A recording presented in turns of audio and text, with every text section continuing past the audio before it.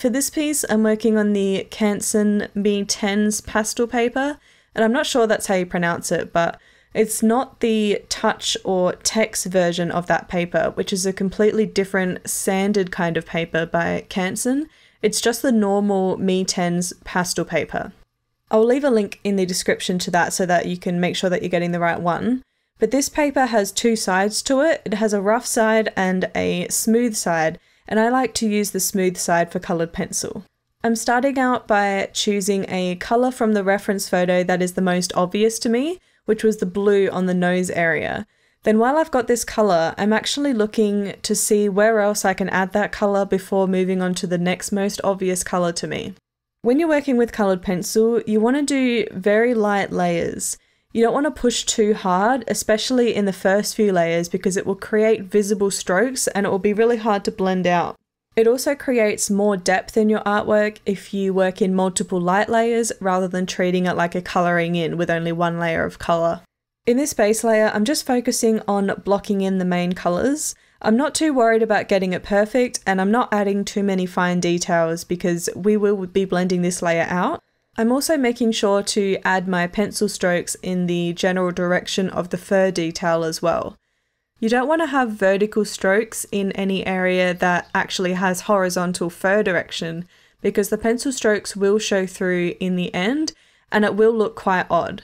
Don't just go straight to grey or white for the highlights in black areas because it can make the dog look older or like it has grey hairs. Black fur tends to reflect the other colours around it, so you'll probably find colours like blues or purples or reds or something like that in the highlight areas, and that will make it look a lot more natural and more interesting. Even in the darkest areas, I never just use black by itself. I always mix in other colours with it. So some artists say that you should never use black because it can look quite flat, and they recommend to mix other colours together to make a dark colour like ultramarine blue and burnt umber, for example, and that works really great for acrylics or oils or watercolour. But for some of the dry mediums like coloured pencil and pastel, I find that mixing other colours to make black isn't quite dark enough. So I use the black a lot, but I always mix in other colours with it. I like to add a lot of blues and reds and purples and that kind of thing in the black areas. So I'm now coming in with solvent to blend out this layer. Make sure that you're dabbing off the excess solvent onto some paper towel before you come into your artwork. You really don't need a lot of solvent on the brush. Again, make sure that you're following the fur direction with the brush strokes as well, just in case they show through in the end result. I'm also using really cheap brushes to apply it with because they tend to get ruined when you use them with solvent. And these are just generic sort of oil or acrylic painting brushes that are not too soft like a watercolour brush but they're not too hard like a bristle brush. If you use coloured pencil with solvent on papers like Pastelmat, you'll really notice that the brushes get damaged quite easily. So I just keep the same few brushes aside for this reason, because it doesn't matter too much if the brush is a bit damaged for blending with solvent. I usually wait around half an hour for the solvent to dry, and you probably don't need to wait that long, but I like to make sure that the paper isn't wet at all before I go into the next layer because you can really damage the paper if it's still wet. This layer, I'm going to use the same process of choosing a colour that stands out to me in the reference photo. So in this case, I saw that the black fur on the ear had to be a little bit darker, so I'm using some black to apply to that area. And then I'll look at my reference photo to see if there's anywhere else that I can use this black while I have it in my hand and then I'll move on to the next most obvious colour for me. In this layer, I'm starting to pay attention to the details a little bit more, and I'm making sure that my fur strokes are even more accurate. When you're drawing fur, you want to make sure that your strokes are going in the right general direction, but you don't want them to all look exactly the same, like they're all lined up in a row like a picket fence. You need to overlap the strokes slightly or start and stop at different points, you want them to curve a little bit and you want some to be slightly longer or shorter than the others. You really don't want to have every stroke look exactly the same because it looks quite unnatural. Also, pay attention to the changes in direction. For example, around the eyes and the ears, the fur changes direction quite a lot, so make sure that you're paying attention to your reference photo. Sometimes you see tutorials where the artist is completing one section at a time. For instance, they might start with the ear and then finish that area completely before moving on to the eye or the nose, and then slowly working their way across the artwork. For me, I find that that technique doesn't work well because it tends to look a little bit disjointed. For example, I can't remember the colours that I used on the ear, or in what order, or how much of each colour, so when I move on to the other ear, it doesn't really match very well. I also find it harder to get my values right.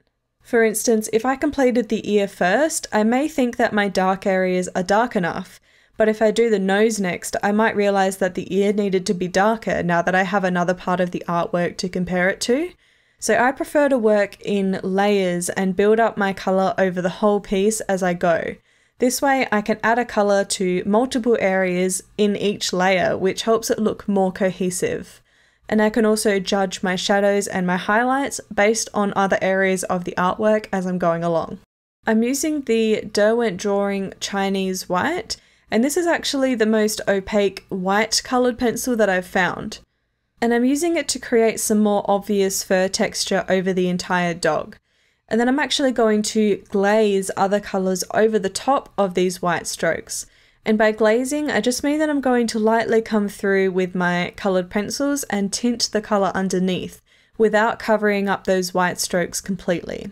So I like using this method because I can use the one white pencil over the whole dog without having to change my pencil every few seconds to match the colour on the reference photo. And then I can just come back over the top to adjust those colours afterwards. If you've used oil paints, acrylics, or watercolour in the past, you may be familiar with the term glazing, and it's the same sort of theory here with coloured pencils. I'm then going to come through and lighten the highlights and darken the shadows to try and get the values or the contrast right. I believe that the two most important things to make your artwork look realistic are your proportions and your values. People tend to put so much focus on getting the perfect colour choice and adding heaps of tiny details to try and make their artwork look more realistic, but that's not what you need to be focused on. The colours that I'm using in this piece definitely don't match my reference photo exactly, and it really doesn't matter as long as your values are correct. A good way to check if your values are right is by taking a photo of your artwork and then turning it into black and white, and then getting your reference photo and turning that into black and white as well. And then you just compare them side by side, and because you've removed the colour aspect, you'll easily be able to see if your shadows are as dark as the reference photo and if your highlights are as bright as they should be. To get those brighter highlights and darker shadows, I tend to switch to the Derwent drawing pencils again, which are those really opaque coloured pencils in comparison to other brands of pencils, and I also press a little bit harder if I need to. White fur can be super tricky to draw, especially on white paper, but I've created this tutorial in the top left corner to explain the process behind creating this white dog, including how to choose your colours. So click on that and I'll see you over there.